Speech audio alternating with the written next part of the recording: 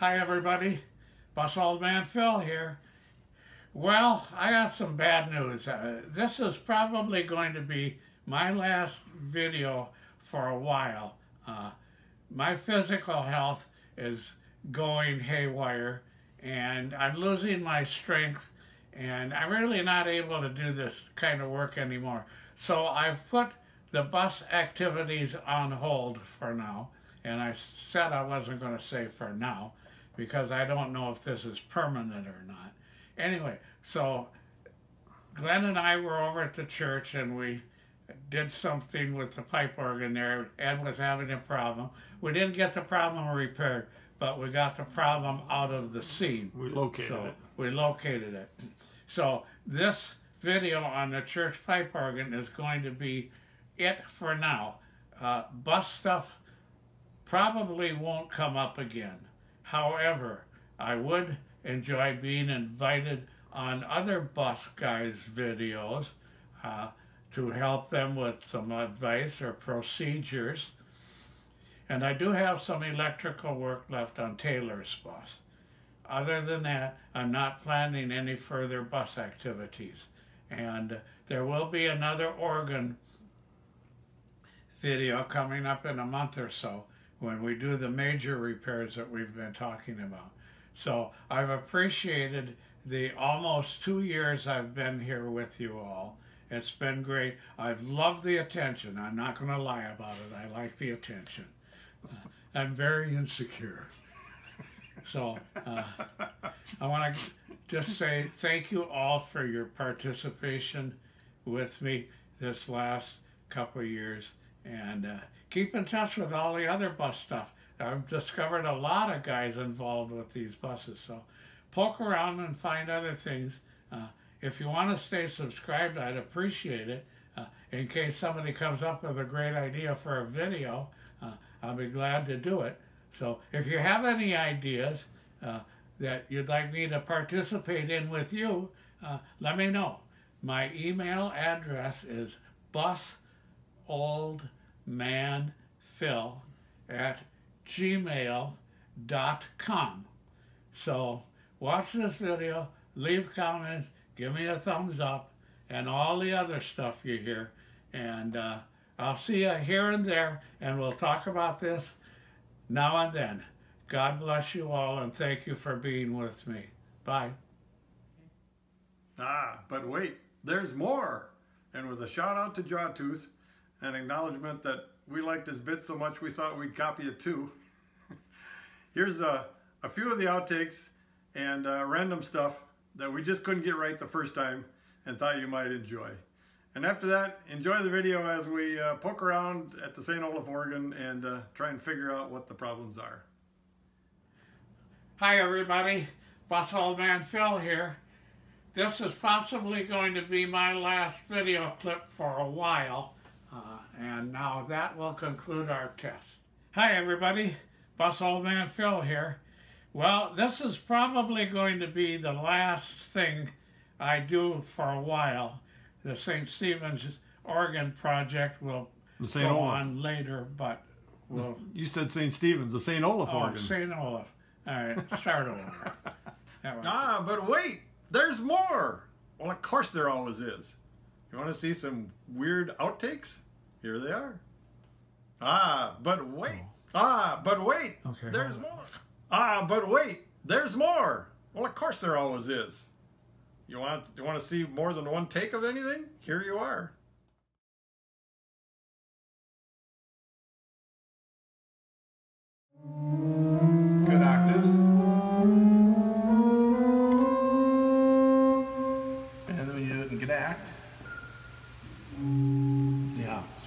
Okay. All right. Okay, let's see if we can find it.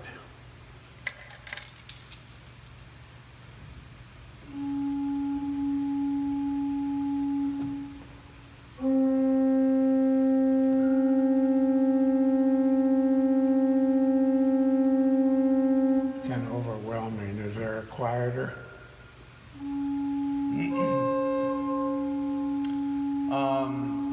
Guess not. no Go down to the choir? I don't want to go across the room. I No, want no, to. choir is over here. No, I want. Oh, oh, it is in it. Yeah. Oh, okay.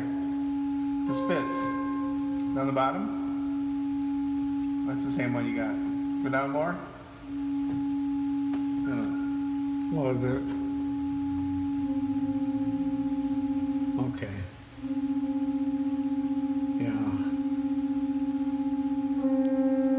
Okay. That's a good one, then. We'll use that. If you pull these two out here, I don't want to make a lot of noise. see? It's out of tune. Same pipes on out of tune. Is it the same wind Yeah. chest? Okay. Same set of pipes. Okay. The C's in the principal rank. In this particular organ, that's the eight foot diapason. I'll explain feet and inches later.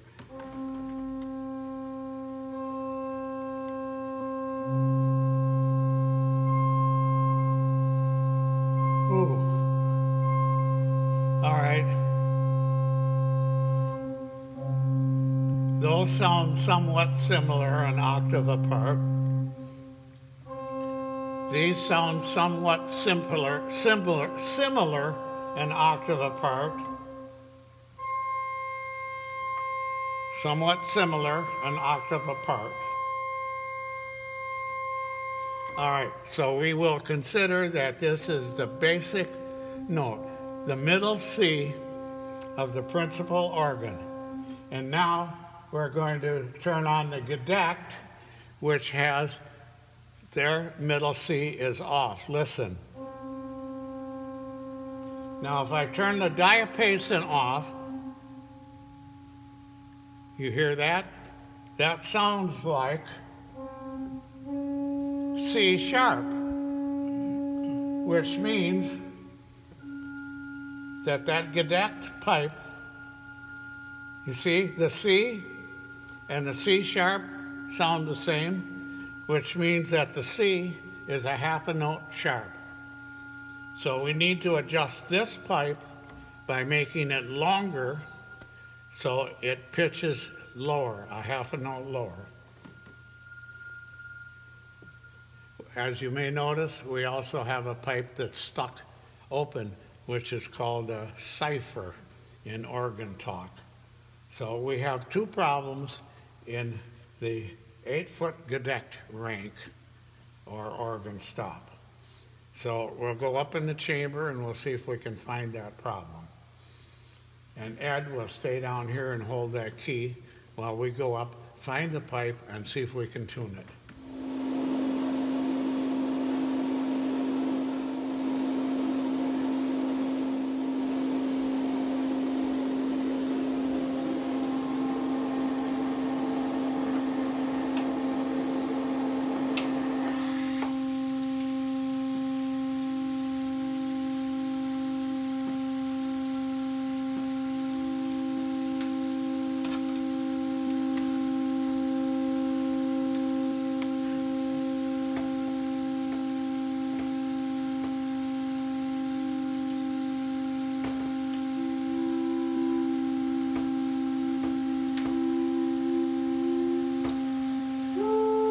No, it ain't gonna go.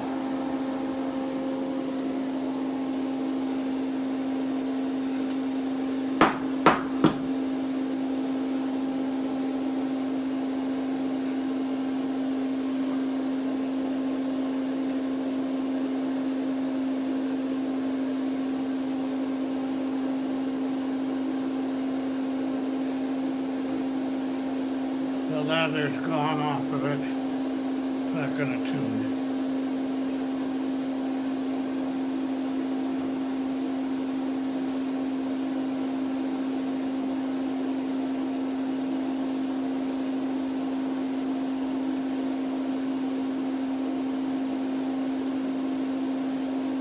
See why I had to quit this business? I'm too shaky.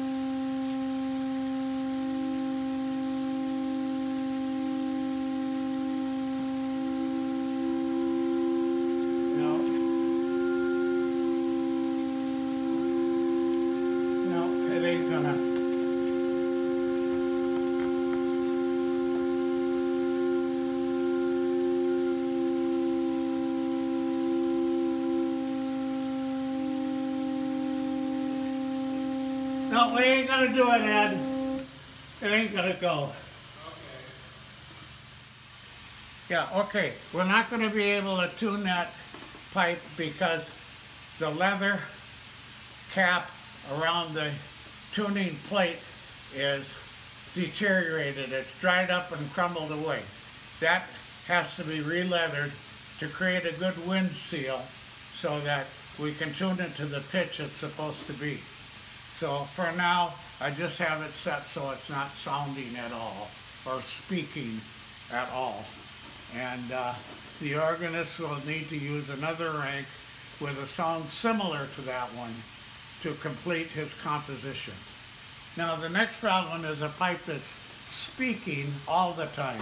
And we're gonna find that one. Go ahead, Ed. Get it to cipher. And now we need to locate that one. Is that the cipher? Ought to be easy to find.